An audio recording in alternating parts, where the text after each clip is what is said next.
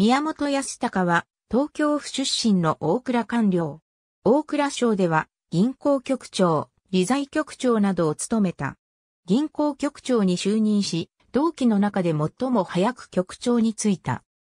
時に国際化や自由化、金利一元化に見る、悠長問題で銀行局や業界自体が地盤沈下していた中での就任だったが、就任理由は、住田聡元銀行局長の下で、金融効率化問題を手掛けるなど、課長補佐時代から将来の銀行局長候補と言われていたこと、直接的には、前任の米里博士局長が、新銀行法制定作業をめぐり、銀行業界と対立。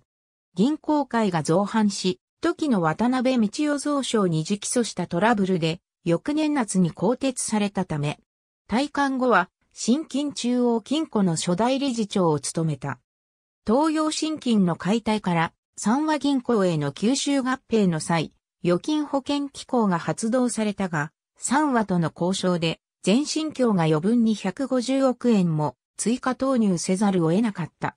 これに懲りた全新協側がリーズナブルな交渉ができる人物をと宮本に理事長就任を要請した経緯があった。